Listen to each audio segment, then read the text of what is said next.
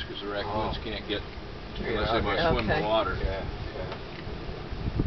Maybe this is going to be a little challenging because we have to go make a wide turn here because of the sandbar. Well, And there's a big There's one. a- The ramp over there.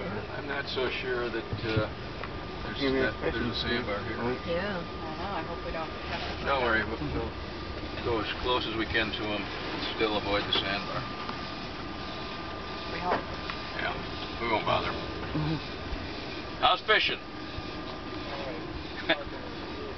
Oh, you're, you're after the tarpon, huh? Yeah, That's where he puts his board over there. So in case you're wondering, you know, these waterways are really good for fishing.